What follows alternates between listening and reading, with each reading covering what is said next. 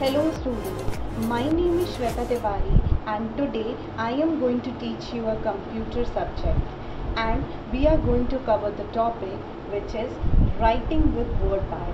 आज हम आपको WordPad में वर्क करना उसको ओपन करना सिखाएँगे ओके आइए हम देखते हैं कि हम WordPad में कैसे वर्क कर सकते हैं स्टूडेंट्स उससे पहले मैं आपको बताना चाहूँगी कि वर्ड पैड जो है, वो एक प्रोग्राम होता है जो कि विंडोज़ में माइक्रोसॉफ्ट की तरफ़ से प्रोवाइडेड होता है।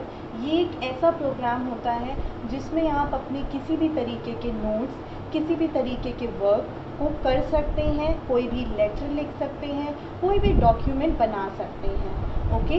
So today we will going to start the word pad हम आज वर्ड पैड के बारे में सीखेंगे। सबसे पहले हम ये जानते हैं कि हम वर्ड पैड को कंप्यूटर पे कैसे ओपन कर सकते हैं। एज़ यू कैन सी हमारे सामने कंप्यूटर की स्क्रीन ओपन है।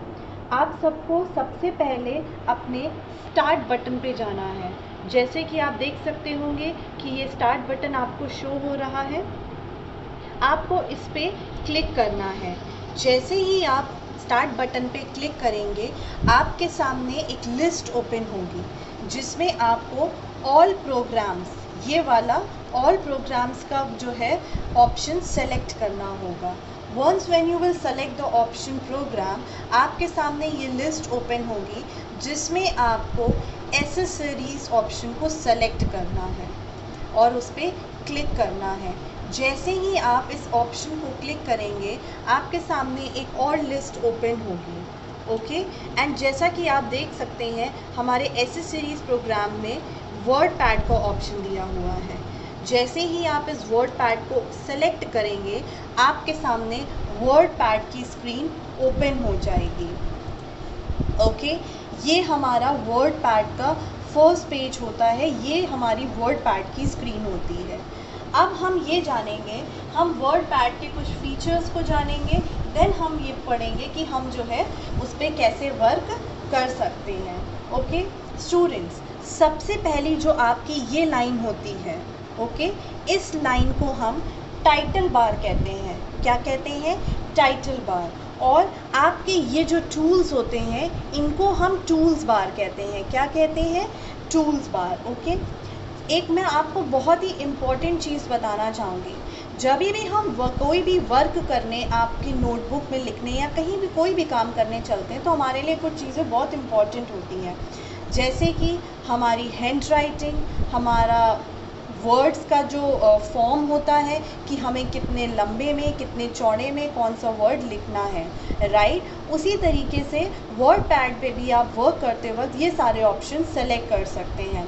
सपोज़ आपको कोई वर्क करने के लिए अगर आपको अपनी लैंग्वेज सेलेक्ट करनी है तो आपको यहाँ पर ये ऑप्शन दिया होता है। जिस पे अगर आप क्लिक करेंगे तो आपको ऑप्शन दिखाएगा font family change the font family यानी कि आप यहाँ पर दी हुई कोई भी लैंग्वेज कोई भी राइटिंग सेलेक्ट कर सकते हैं. As it is automatically selected Calibri यहाँ पर मेरी स्क्रीन में ऑलरेडी कैलिब्री ऑप्शन सेलेक्टेड है. Okay okay? अब अगर आपको कोई भी वर्क थोड़ा सा ब्रॉड सेशन में लिखना है, थोड़ा सा चौड़े वे में लिखना है तो उसके लिए भी हमारे पास यहाँ पर स्केल दिया होता है। ये ऑप्शन हमारा स्केल का होता है फॉन्ट साइज़ का। कितने साइज़ में आपको कौन सा वर्ड लिखना है? हम यहाँ पर अगर टेन से ऊपर का साइज़ सेलेक्ट करते हैं एट या नाइन तो हमारे जो वर्ड्स होंगे वो बहुत ही छोटे साइज़ में आएँगे। टेन से नीचे के साइज़ अगर आप सेलेक्ट करते हैं like eleven twelfth fourteen sixteen तो आपका साइज़ वैसे वैसे इंक्रीज़ होता जाएगा। ओके अपार्ट फ्रॉम दैट आप ये तीन हमारे ऑप्शंस देख रहे होंगे। बी आई यू बी का मतलब बोल्ड होता है आई का मतलब इटैलिक होता है, और यू का मतलब होता है अंडरलाइन ओके अब इसका यूज़ कैसे होगा वो मैं आपको बताऊँगी। हमने अपनी लैंग्वेज सेलेक्ट कर ली हमने अपना जो है वो ऑप्शन सेलेक्ट कर लिया।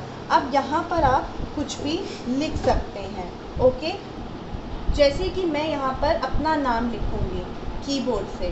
For example I have written here my name my name है श्वेता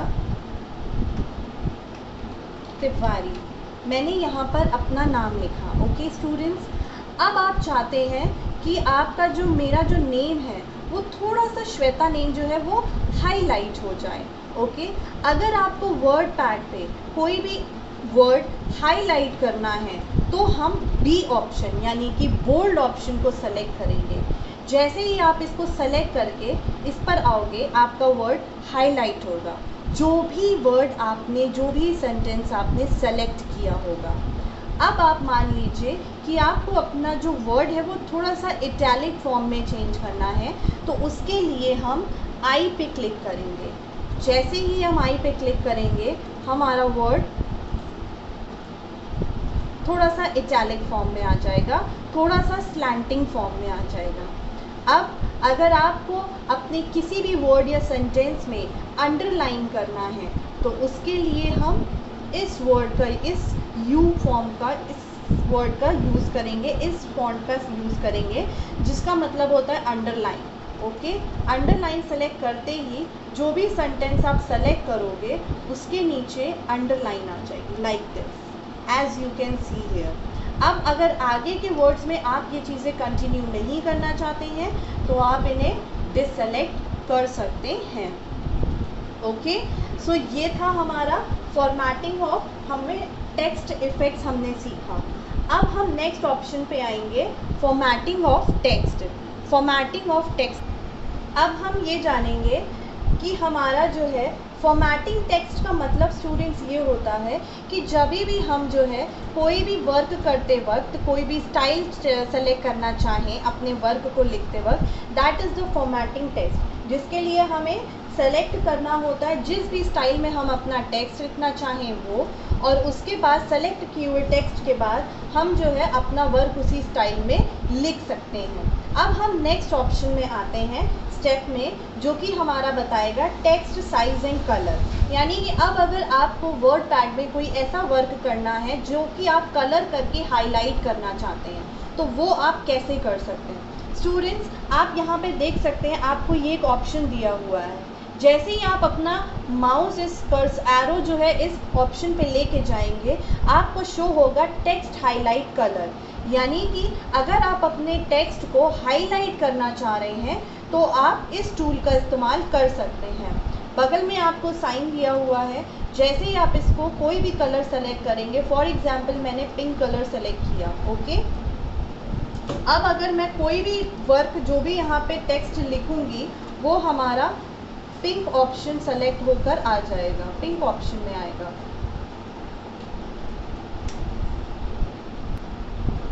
कलर सेलेक्ट करने के लिए आपको सबसे पहले अपना दिया हुआ अल्फ़ाबेट दिया हुआ वर्ड सेलेक्ट करना होगा। फॉर एग्ज़ाम्पल कि मैं अपने नेम को, अपने सर नेम को कलर देना चाहती हूँ ओके तो मैं अपना ये अल्फ़ा ये वर्ड सेलेक्ट करूँगी।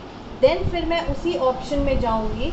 एंड फिर मैं जो भी कलर आपको यहाँ पे दिए गए हैं आप कोई भी कलर सेलेक्ट कर सकते हैं। सपोज़ मैंने पिंक करा तो अब मैं इस पर जब दोबारा क्लिक करूँगी मेरा ये वर्ड कलरफुल हो जाएगा ओके सो so, इस तरीके से हम किसी भी टेक्स्ट को अगर आप हाईलाइट करना चाहते हैं तो आप उसको हाईलाइट भी कर सकते हैं okay students last but not the least अब हमारा जो सबसे लास्ट स्टेप होता है कि जो भी डॉक्यूमेंट या जो भी वर्क हमने किया है, हम उसको सेव कैसे कर सकते हैं? Saving the word pad document मैं आपको बताना चाहूँगी कि जैसे ही आप अपना वर्क करने के बाद इस ऑप्शन को, इस दिए हुए ऑप्शन को सेलेक्ट करेंगे, यहाँ पर आपको ऑप्शन दिया होता है सेव या सेव एज का।